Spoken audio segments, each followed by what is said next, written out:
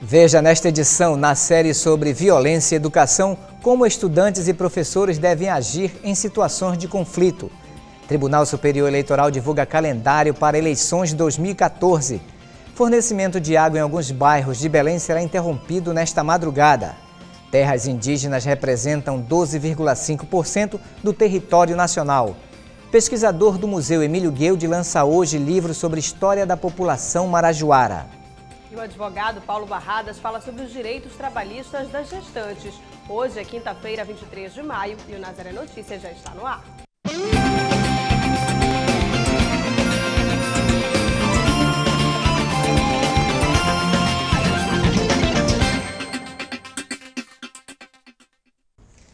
Violência nas escolas.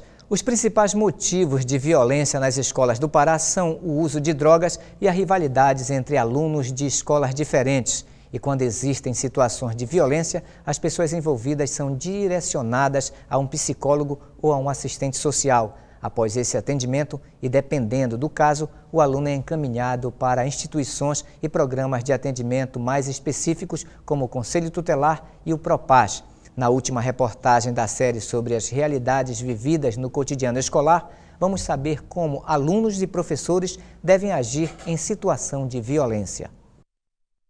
Essas ações de prevenção, elas vão exatamente identificar esses problemas que são extra escola nos alunos, em cada um deles, nas suas vidas particulares, nos seus outros ambientes sociais. Sim, porque com muita frequência nós temos reunião com os pais trazer a família para esse diálogo, trazer a família para essa, para essa conversa é muito importante. Agora, dependendo da faixa etária do aluno, nós teremos vários mecanismos para entender de que forma ah, esse aluno ele ele é envolvido nesse mundo de violência através de textos, através de imagens, de filmes, de desenhos, dependendo da série, você consegue entender um pouco o perfil desse aluno que você está recebendo na sala de aula. E dessa forma ter um tratamento diferenciado com ele, um olhar diferente.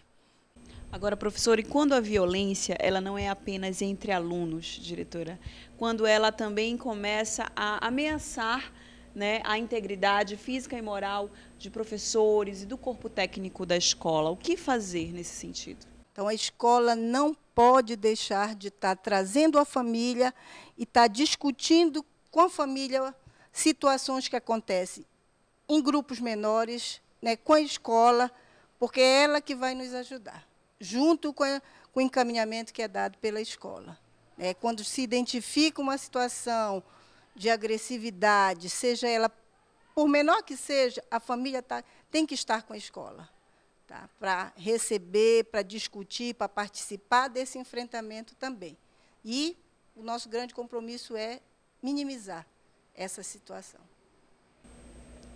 E o diálogo, professor, é um, uma ação, uma atitude que se dá não apenas no espaço da sala de aula, mas em todos os ambientes da escola, não é isso? Sim. Todos eles gostam muito da escola.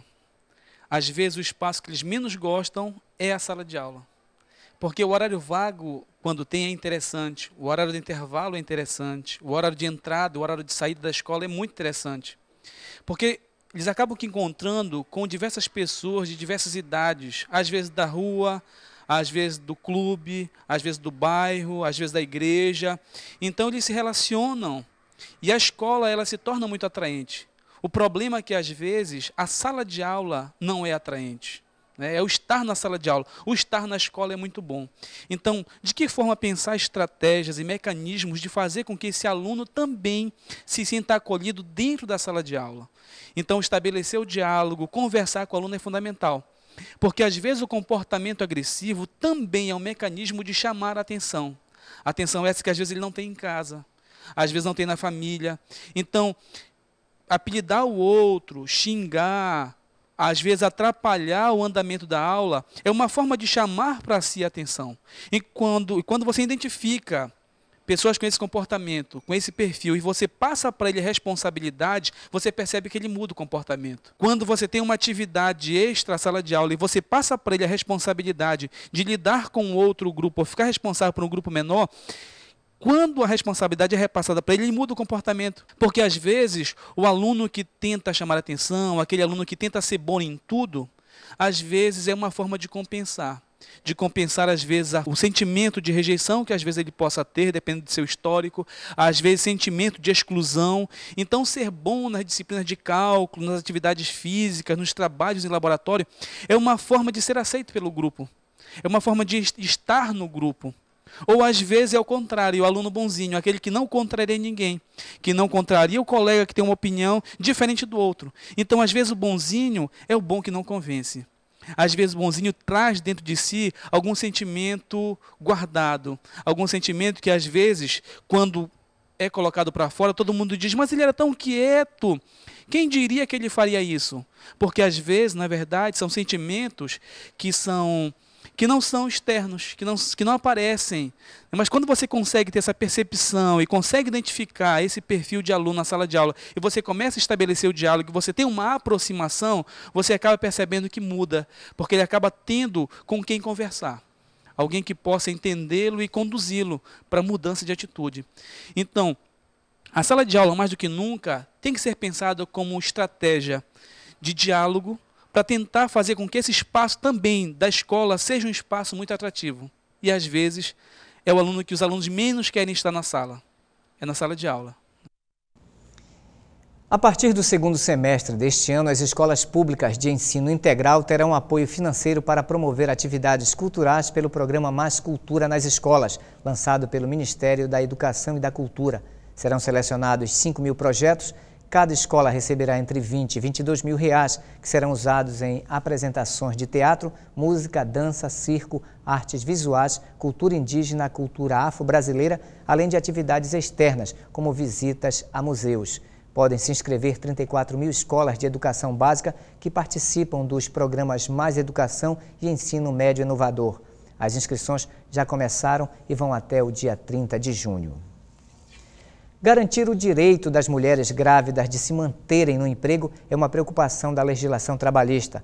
A gestante deve ter estabilidade desde a confirmação da gravidez até cinco meses após o parto. A repórter Larissa Cristina está com o advogado Paulo Barradas, que vai falar sobre este assunto. Larissa.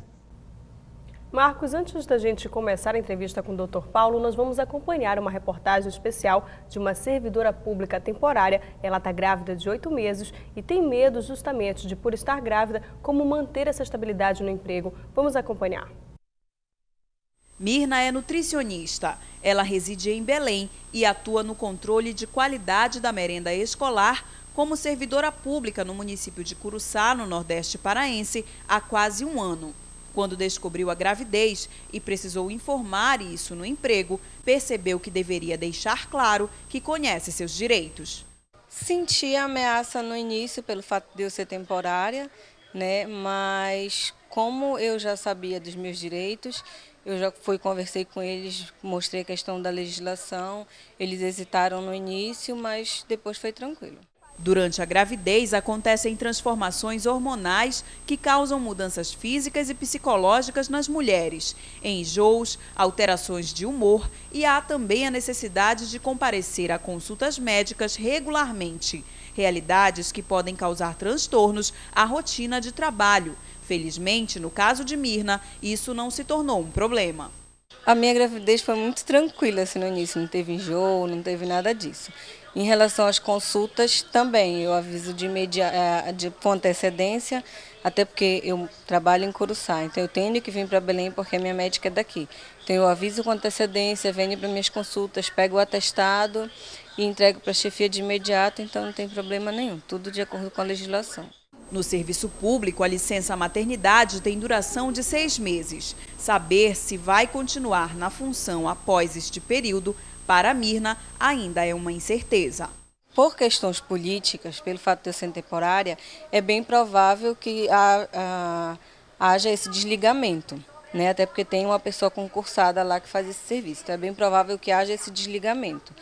Mas, se for de interesse deles que eu continue, pode acontecer também. Nós vamos tratar agora sobre os direitos trabalhistas das gestantes. E a gente lembra que se você tiver dúvidas sobre esse assunto, ligue para a gente através do 40069211 que a gente responde a sua pergunta. Doutor Paulo, utilizando o exemplo da Mirna, primeiro vamos esclarecer que direitos básicos essa gestante tem dentro do local de trabalho.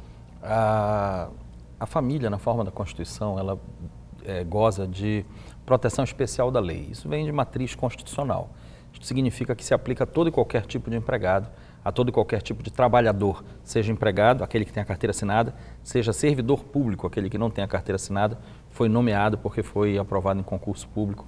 Enfim, todo mundo vai ter, é, vai, vai, durante o seu pacto laboral, vai ter a especial proteção da lei à família. E ela começa exatamente aí na licença, na, na estabilidade, antes da licença maternidade, na estabilidade da trabalhadora grávida. A partir do momento da confirmação da gravidez até cinco meses depois do parto, ela goza de estabilidade. E durante este período, ela goza da prerrogativa de saídas para consultas, para atendimentos. A gente sabe que durante o período de gravidez é um estado todo especial na, na, na, na vida da, da mulher, da trabalhadora, e por vezes ela precisa de atendimentos, ou enfim, ela precisa de um cuidado especial, e esse cuidado especial não pode lhe ser sonegado em virtude do seu trabalho.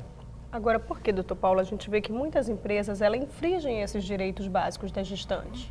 Exato. É, a gente sabe que é difícil para a empresa ter uma trabalhadora que não está produzindo o que deveria. Isto, quando a gente traduz em números e fala administrativamente, é, a empresa acaba por, em princípio, ter um prejuízo aí. Mas veja, é, este prejuízo, na verdade, ele é compensado porque números não são absolutos. Os outros empregados e próprio, a própria empregada que está grávida, se sentir acolhida pela empresa, trabalhará com mais paixão pela empresa porque vai se sentir em casa pela empresa, é, na empresa. Então ela vai ter, é, vai se entregar mais afetivamente à atividade profissional.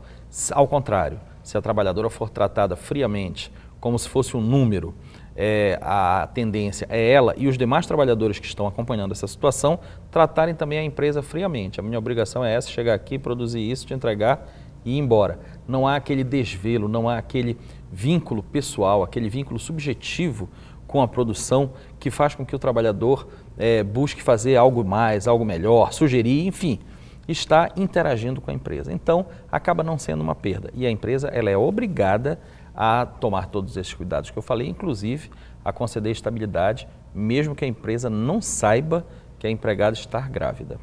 É, se foi confirmada já a gravidez, ainda que a empresa não saiba, ela já goza de estabilidade, porque essa estabilidade é uma situação de fato. A empresa só tem que aceitar a estabilidade que já existe. Então ela tem estabilidade durante a gravidez e cinco meses após o parto. E cinco meses após o parto, quando seu bebê ainda está em tenra idade, onde ela ainda está se recuperando de toda a diferenciação hormonal que ocorreu no seu organismo, e todo esse período é assistido pela estabilidade. Agora, doutor Paulo, existe uma diferença. Tem empresas que elas concedem quatro meses de licença maternidade, algumas seis. Qual é essa relação? É que, na verdade, a licença maternidade não estamos falando da estabilidade, estamos falando da licença maternidade, é do período que a empregada vai ficar ou que a trabalhadora vai ficar em casa tomando conta do seu bebê. Na forma da Constituição, ela é de 120 dias, ou quatro meses, e esse é o mínimo exigível. Há uma proposta para se alterar isso para seis dias, para seis meses ou 180 dias. Algumas empresas e alguns órgãos, algumas esferas do poder público já aceitam os seis meses. A empresa pode aceitar os seis meses e combinar isso com seus trabalhadores, e a Previdência vai acatar isso, quer dizer, isso é um desconto previdenciário, isso é uma parcela previdenciária, o auxílio maternidade. E o auxílio maternidade será de seis meses, a, empresa, a, imprensa, a empresa vai se compensar com a Previdência. Então, seis, quatro meses é o mínimo, seis meses é facultativo no momento. A tendência é que no futuro seis meses seja obrigatório. Doutor Paulo, a gente já vai voltar a conversar. A gente lembra que se você tiver dúvidas sobre esse assunto, ligue para a gente através do 40069211 que a gente responde a sua pergunta. Daqui a pouco a gente volta a conversar mais sobre a estabilidade das gestantes no local de trabalho. Agora eu volto aí no estúdio. É com você, Marcos. Entrou em vigor a lei, que, a lei federal que estabelece um prazo máximo de 60 dias para que pessoas com câncer iniciem o tratamento pelo SUS. Esse período é contado a partir da confirmação do, do diagnóstico e da conclusão, aliás, e da inclusão das informações no prontuário médico. A lei foi sancionada pela presidente Dilma Rousseff em novembro do ano passado e tinha 180 dias para começar a valer. A previsão do Instituto Nacional do Câncer é que 518 mil casos de câncer sejam diagnosticados em 2013. Em todo o país, 277 hospitais, centros e institutos estão habilitados a realizar procedimentos oncológicos pela rede pública. Foi aprovado pelo Tribunal Superior Eleitoral o calendário das votações de 2014. O primeiro turno vai ocorrer no dia 5 de outubro e, caso haja segundo turno, a votação será no dia 26. A repórter Patrícia Nascimento tem mais informações. Partidos políticos devem registrar seus estatutos e futuros candidatos devem regularizar seu domicílio eleitoral até o dia 5 de outubro de 2013. Institutos de pesquisa devem registrar seus projetos junto ao TSE até o dia 1 de janeiro de 2014. As convenções de partido devem acontecer entre os dias 10 e 30 de junho. A partir daí, emissoras de TV e rádio ficam proibidas de transmitir programas apresentados por candidatos escolhidos nas convenções. Patrícia Nascimento para o Nazaré Notícias. A Câmara dos Deputados aprovou ontem o texto base do projeto que altera a lei de drogas, permitindo a internação involuntária de dependentes químicos desde que haja autorização da família. Um médico terá que atestar a necessidade de internação. Foi excluído do texto o artigo que permitia aos agentes de segurança pública determinar a internação. O texto ainda prevê a atuação de entidades terapêuticas, mas exige que a internação compulsória só seja feita nos estabelecimentos que prestem atendimento de saúde. Das 23 horas de hoje até 1 da manhã desta sexta-feira, o fornecimento de água em alguns bairros de Belém será interrompido. A Companhia de Saneamento do Pará fará obras no setor Cordeiro de Farias.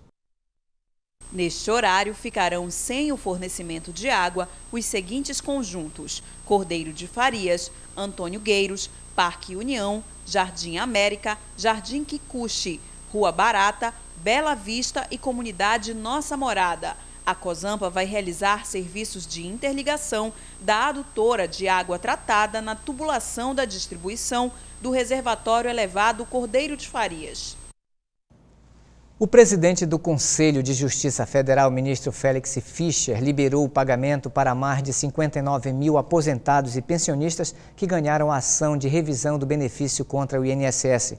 O pagamento corresponde à diferença que o INSS deixou de pagar para o segurado nos últimos cinco anos. O dinheiro estará disponível para o aposentado no dia 10 de junho. O depósito na conta dos beneficiários é feito de acordo com os cronogramas de cada Tribunal Regional Federal. Os créditos serão feitos em agências da Caixa Econômica Federal ou do Banco do Brasil em nome do aposentado. Após a confirmação do pagamento, a Justiça envia avisos pelos Correios informando a data dos créditos dos atrasados. E você acompanha ainda nesta edição: terras indígenas representam 12,5% do território nacional. Pesquisador do Museu Emílio Guilde lança livros sobre história da população marajoara. E voltaremos a falar sobre os direitos trabalhistas das grávidas. O Nazaré Notícias volta já. Neste final de semana, a coleta de todas as missas e celebrações realizadas nas dioceses de todo o Brasil será para ajudar os custos da Jornada Mundial da Juventude, que acontecerá em julho no Rio de Janeiro. A decisão foi tomada na última Assembleia Geral dos Bispos do Brasil, realizada em Aparecida.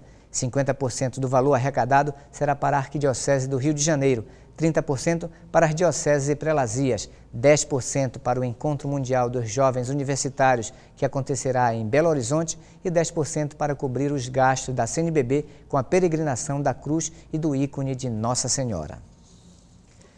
Estima-se que no século XVI existiam no território brasileiro 2 mil povos e etnias indígenas. Hoje, segundo o censo do IBGE, são apenas 305. E a realidade são os inúmeros conflitos em que essas populações estão envolvidas. Estima-se que existam no mundo pelo menos 5 mil povos indígenas, segundo uma pesquisa de 2009. No Brasil, até meados dos anos 70, acreditava-se que o desaparecimento desses povos seria algo inevitável. Mas o censo do IBGE de 2010 revelou que ainda existem no país 896.900 indígenas. 32,2% estão em área urbana e 63,8% no meio rural. Hoje, números são os problemas enfrentados por eles: falta de assistência à saúde, educação e principalmente demarcação de terras. Há direitos básicos dos povos indígenas estão sendo violados e hoje, de uma maneira é, mais forte, é, eu acho que o principal desses direitos é o direito à consulta prévia. O que, que é isso? É, é, um direito que está tanto na Constituição quanto na Convenção 69 da Organização Internacional do Trabalho, que o Brasil é signatário, e ele diz que cada vez que um projeto econômico for se instalar e que vai, esse projeto vai impactar terras indígenas, esses povos merecem ser consultados antes do projeto se iniciar. As terras indígenas representam 12,5% do território brasileiro. São 106 milhões e 700 mil hectares. Para preservar essas áreas, os indígenas protestam. Na mídia nacional, as manchetes são recorrentes. A grande chamada grande mídia nacional, as redes de TV, os grandes jornais, etc., eles ficam, em alguns momentos, a meu ver, eles ficam tanto reticentes porque eles querem criar problema ao governo ao qual eles se opõem. Mas, ao mesmo tempo, eles são porta-vozes do capital que defendem.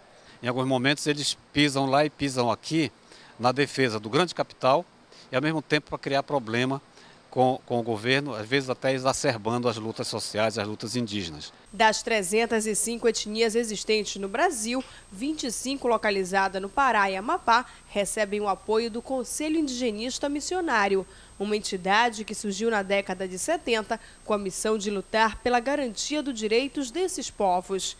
Hoje, a principal preocupação está nos conflitos relacionados à construção de hidrelétricas na Amazônia.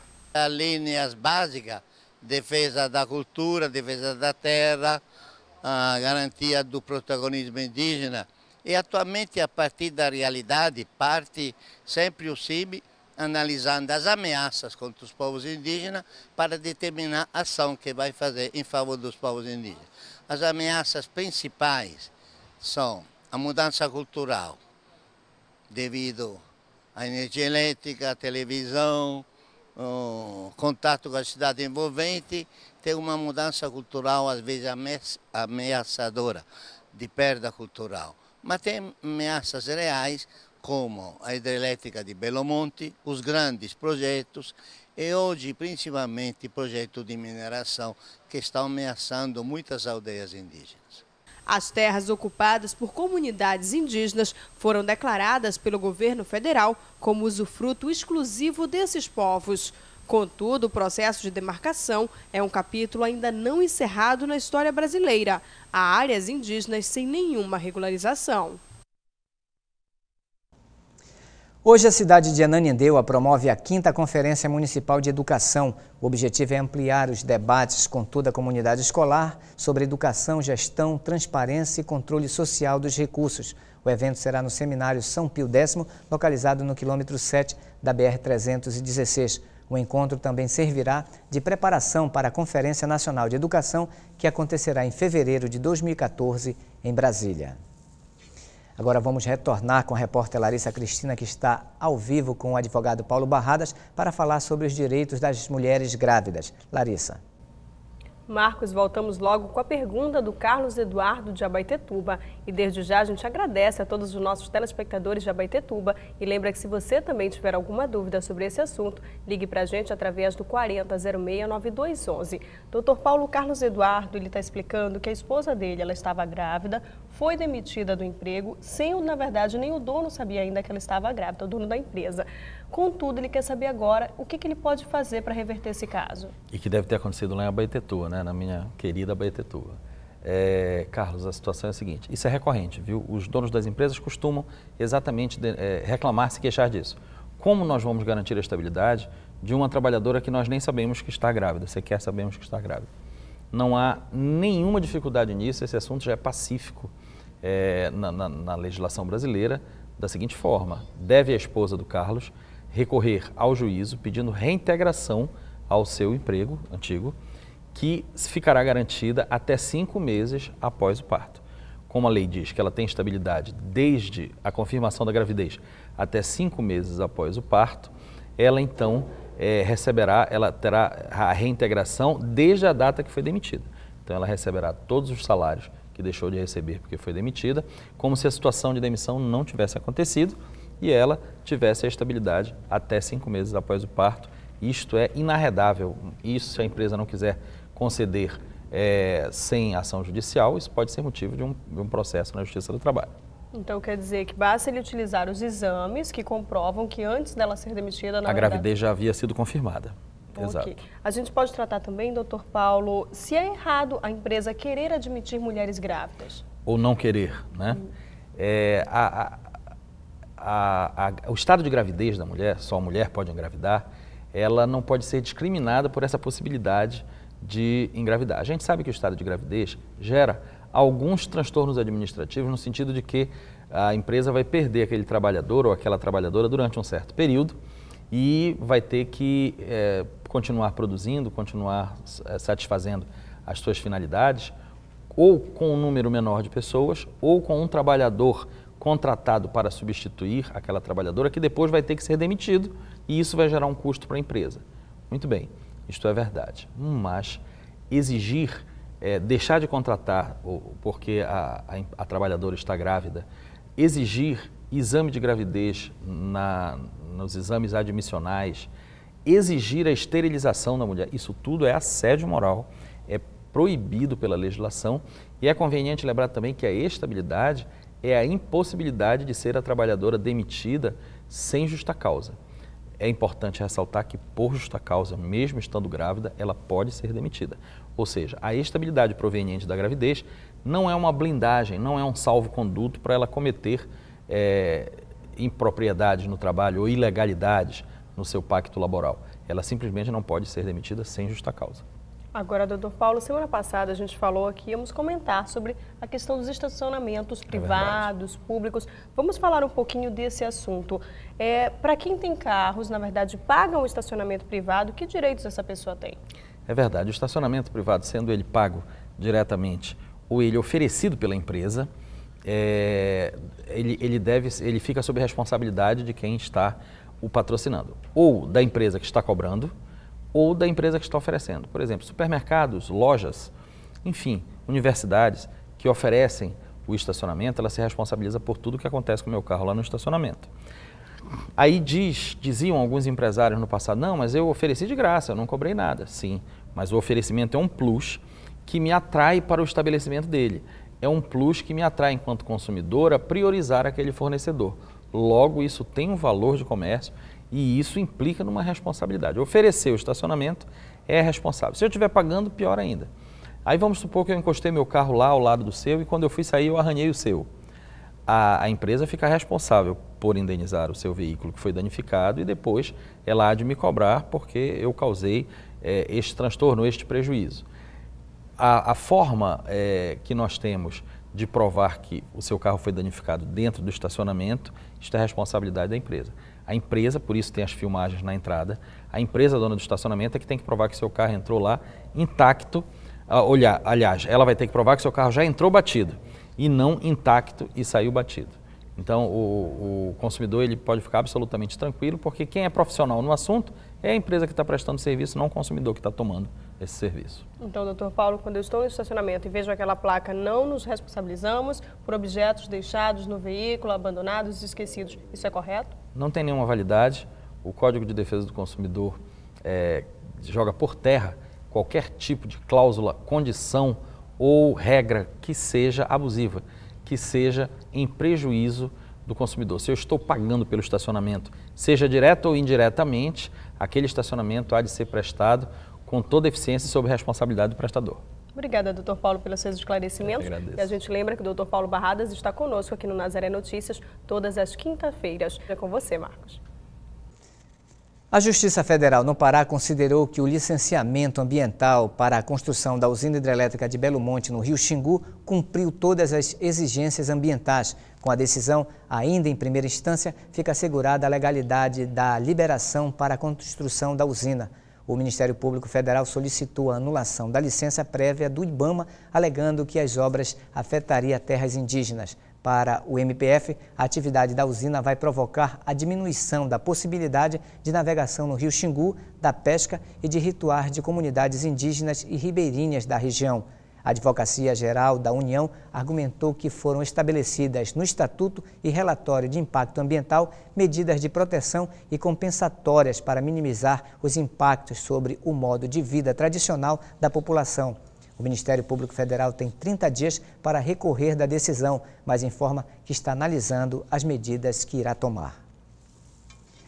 Momento Cultural na Ilha do Marajó. Acontece amanhã em Soure a apresentação da ópera O Contrato de Casamento, do compositor italiano Rossini. A ópera será apresentada no ginásio poliesportivo do município a partir das 8 horas da noite, com entrada franca. A iniciativa faz parte das atividades do projeto Multicampiartes é, 2013 da Diretoria de Apoio à Cultura do, da Pró-Reitoria de Extensão da Universidade Federal do Pará.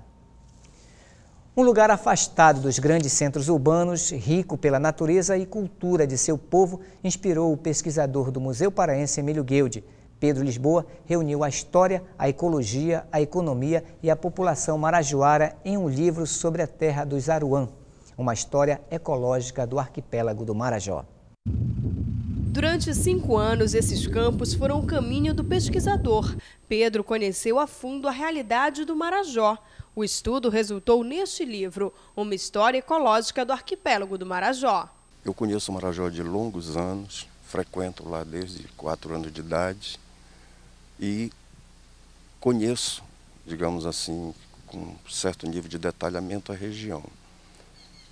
E sei que a região tem um potencial econômico e turístico muito grande e que esse potencial turístico ele não está sendo, digamos assim, ainda muito bem trabalhado, talvez até por falta de informações. Tá? Então, um dos grandes objetivos do livro foi justamente gerar informações, é, consolidar essas informações e colocar à disposição da sociedade. A leitura inicia sobre a principal característica da ilha, a de ser o maior arquipélago fluvial do mundo. São enfatizados seus recursos hídricos, o solo, a população e o ecossistema. Ao todo, são 140 mil quilômetros quadrados, uma extensão de floresta e campos que reúne 16 municípios, onde vivem cerca de 300 mil habitantes. Bom, a pesquisa ela iniciou de uma forma pequena, porque a ideia era fazer um trabalho sobre os barcos marajoaras. Depois eu vi que era interessante a vida das pessoas que faziam os barcos marajoaras. E a partir daí a ideia foi crescendo e eu me interessei pela história do Marajó. vi que era uma história muito fascinante, que era uma história que envolvia é, fatos históricos do, do estado do Pará, inclusive como a, a, luta pela adesão da independência, que foi levada para o município de Imbuaná houve uma revolta onde muitos foram presos e levados para Portugal e colocados na Torre de São Julião. É, vi que o Marajó é rico em natureza, há muitas florestas, há mangues, há lagos, há uma riqueza de aves extraordinária, as belezas cênicas são assim diferenciadas, ah, tanto que um diretor do museu o diretor do museu, chamado Emílio Guedes, que deu o nome à casa, ele chamava de Maravilhas, as Maravilhas do Marajó. Para aprofundar a pesquisa, os municípios de Breves, Soure, Salvaterra e Cachoeira do Arari são retratados no livro. Comunidades quilombolas e o atual contexto político, econômico e social da região também foram ressaltados. O livro ele tem essa função, né? Ele deve ter essa função de informar, de fornecer subsídio para a política de turismo, para a política de educação, para políticas públicas é, de modo geral. Né? E eu acho que ele vai, de alguma forma, despertar interesse. Eu espero, né? Por exemplo, eu já, já recebi convite para fazer palestras na, nos campos universitários é, de, de Soura e de Salvaterra. Já fui, já fiz palestras lá. Então, eu acho assim que o livro ele está mexendo, está mexendo com a e é muito importante quando mexe com o mundo acadêmico, né? com os universitários, essas coisas. E os universitários já estão se unindo com as prefeituras, tentando articular alguma, algum pensamento que possa é, trazer projetos que possam beneficiar o, o Marajó, os municípios do Marajó, digamos assim. Né? Essas foram as notícias de hoje e para dar sugestões de reportagens, ligue para a nossa central de atendimento no número 40069211.